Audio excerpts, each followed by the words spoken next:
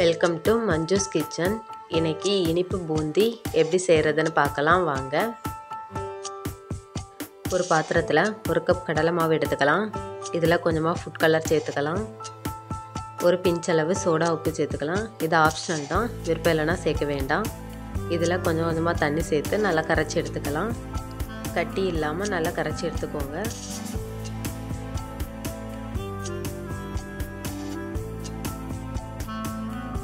இப்போ நல்லா கரைச்சி எடுத்தாச்சு. மாவு இந்த பதத்தில் இருக்கணும். தோசை மாவை விட கொஞ்சம் தண்ணியாக இருந்தால் கரெக்டாக இருக்கும். இது அப்படியே இருக்கட்டும். ஒரு கடாயில் ஒரு கப் சர்க்கரை எடுத்துக்கலாம். இது முழுகிற அளவு கொஞ்சமாக தண்ணி சேர்த்துக்கலாம். இது நல்லா கொதிக்கட்டும். சர்க்கரை நல்லா கரையிட்டு இது நல்லா கொதிச்சிடுச்சு. இதில் வாசனைக்காக கொஞ்சமாக ஏலக்காய் தூள் சேர்த்துக்கலாம். ஏலக்காய் தூள் வேண்டாம் அப்படின்னா நீங்கள் சேர்க்க வேண்டாம்.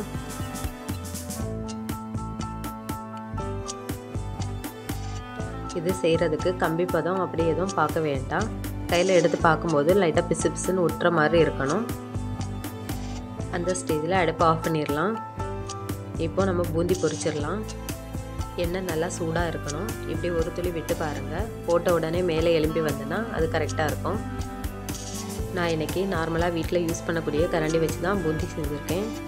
இந்த கரண்டி யூஸ் பண்ணியிருக்கேன். இதில் கொஞ்சமாக மாவு ஊற்றிட்டு லைட்டாக தட்டி தட்டி விட்டுக்கலாம். பாருங்கள் பூந்தி போட்ட உடனே மேலே எலும்பி வருது. மாவு கொஞ்சம் கொஞ்சமாக சேர்த்து நல்லா தட்டி விட்டுருங்க. இது போட்டு ஒரு முப்பது செகண்ட்லேயே எடுத்துடலாம். ரொம்ப மொறு மொறுன்னு பொரியக்கூடாது. அடுப்பை மீடியம் ஃப்ளேமில் வச்சுக்கோங்க. இப்போ பொரிஞ்சிடுச்சு இதை எடுத்துடலாம். இது மொறு மொறுன்னு பொரிஞ்சால் காரப்புந்தி மாதிரி ஆகிரும். அதனால் பாதி வேக்காடு வெந்த உடனே எடுத்துடலாம். ஒவ்வொரு வாட்டி பூந்தி பொரிக்கும் போதும் எண்ணெய் நல்லா சூடான பிறகு பொரிங்க. அப்போ தான் கரெக்டாக வரும். இதே மாதிரி எல்லாத்தையும் பொரித்து எடுத்துடலாம். ஒவ்வொரு வாட்டி பூந்தி போடும் போதும் கரண்டியை நல்லா கழுவிட்டு துணி வச்சு தொடச்சிட்டு செய்யுங்க. அப்படி செஞ்சால் தான் பூந்தி கரெக்டாக வரும்.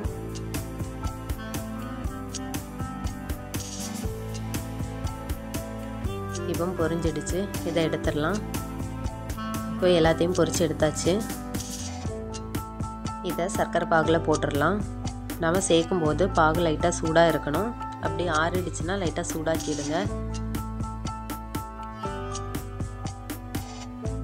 இதை நல்லா கலந்து விட்டுடலாம். இதில் கொஞ்சமாக நெய் சேர்த்துக்கலாம். நெய் சேர்த்து ஒரு வாட்டி நல்லா கலந்து விட்டுருங்க. நெய் சேர்க்க விருப்பம் இல்லைன்னா சேர்க்க வேண்டாம். இது ஒரு பதினஞ்சு நிமிஷம் சர்க்கரை பாகில் நல்லா ஊறட்டும். இப்போ பதினஞ்சு நிமிஷம் ஆகிடுச்சு. சர்க்கரை பாகில் நல்லா ஊறியிருக்கு இதை ஒரு பிளேட்டில் மாற்றிக்கலாம் இது கொஞ்சம் நேரம் காயட்டும். இப்போ நல்லா காஞ்சிடுச்சு. அவ்வளவுதான். நம்ம இனிப்பு பூந்தி ரெடி ஆகியாச்சு. நீங்களும் ட்ரை பண்ணி பாருங்கள் இந்த ரெசிபி உங்களுக்கு பிடிச்சிருந்தா லைக் பண்ணுங்கள் ஷேர் பண்ணுங்கள் சப்ஸ்கிரைப் பண்ணுங்கள் மறக்காமல் பெல் பட்டனை கிளிக் பண்ணுங்கள் தேங்க்யூ